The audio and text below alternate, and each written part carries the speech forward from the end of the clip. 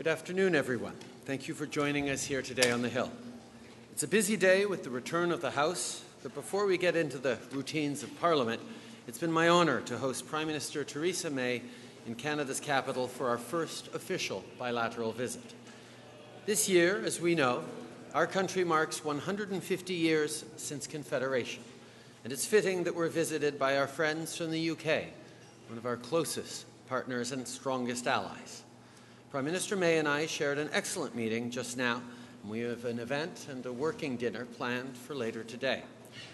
We last met at the G7 in Taormina, and today we discuss cooperation on a number of fronts that will grow our economies.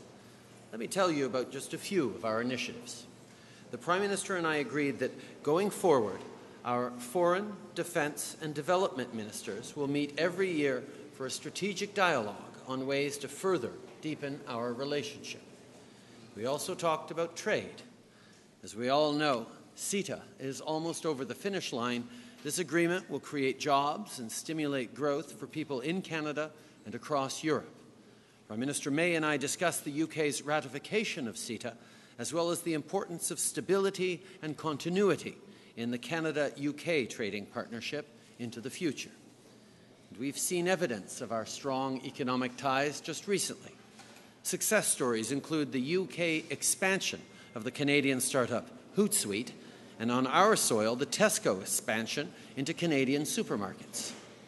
Dans le même esprit, nous sommes heureux aujourd'hui d'avoir signé un protocole d'entente sur, sur, la science, la technologie et l'innovation. Le Canada et le Royaume-Uni sont des chefs de file dans ces domaines. Dorénavant, grâce à cet accord, nos pays collaboreront et échangeront de l'information sur les nouvelles technologies, y compris les technologies agricoles et la fabrication de pointe. Nous avons aussi le plaisir d'annoncer l'établissement d'un partenariat sur les changements climatiques, la croissance propre et l'énergie renouvelable. Grâce à cette initiative, nos secteurs publics et privés pourront travailler ensemble en vue d'atteindre nos objectifs en matière d'innovation et d'énergie propre. En effet, nos ambitions sont semblables lorsqu'il est question de la croissance économique et nous savons que notre partenariat commercial se poursuivra pour des années à venir. Mais nous partageons beaucoup plus que simplement des liens économiques. We're committed to working together on the, international stage to address some of our most pressing, difficult challenges. We've instructed our officials to develop a joint initiative to enhance the role of women in UN peace support operations. This is part of our broader commitment to the empowerment of women and girls around the world. We've agreed to work together to enhance disaster recovery, reconstruction, and resilience efforts in the future as we prepare for and respond to natural disasters. And we'll continue to partner in defense and security across Europe and beyond. Friday's attack in London underlined once again why this close partnership is so vital. And allow me to reiterate once again that all Canadians wish a speedy recovery to those injured. Canada and the United Kingdom share a deep and rich history, with almost a third of Canadians today claiming British ancestry.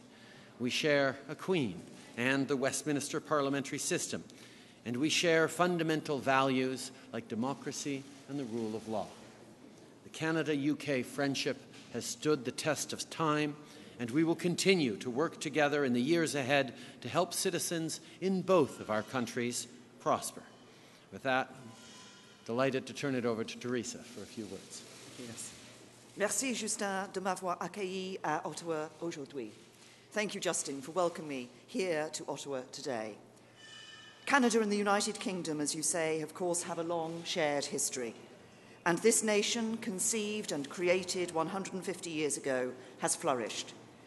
Over that time, British and Canadian soldiers, sailors, and airmen and women have fought and died alongside each other in the pursuit of freedom.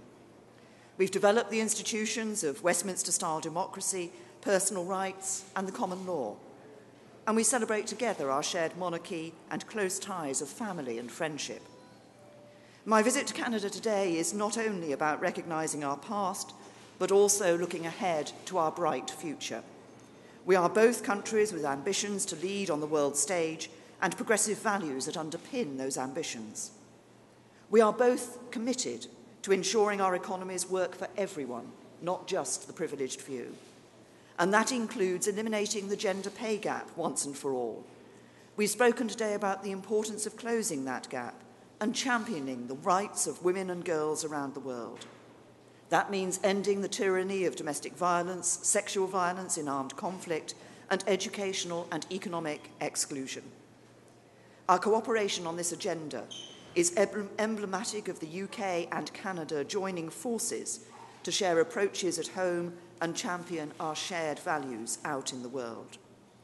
We will also be discussing the ways in which our governments will work together to foster innovation, including measures that will allow business to harness the opportunities of clean growth. And we've confirmed our joint commitment to supporting the global transition away from a reliance on coal as an energy source. Once again, the UK and Canada will lead the way, and I'm pleased to announce that the UK will aim to phase out unabated coal by 2025. The UK and Canada have a strong and growing economic relationship, and we are natural partners in promoting the benefits of free trade. The EU Canada Comprehensive Economic and Trade Agreement, CETA, the bulk of which, as uh, the Prime Minister said, comes into effect this week, has significant potential to boost transatlantic prosperity and the UK economy, eliminating 98% of Canadian import duties and massively increasing the opportunities for British exporters and I'm pleased that we have agreed today that CETA should be swiftly transitioned to form a new bilateral arrangement between the UK and Canada after Brexit. As staunch champions of the power of free trade to grow our economies, Canada and the UK will also work together at the World Trade Organization to promote and spread the benefits of free trade.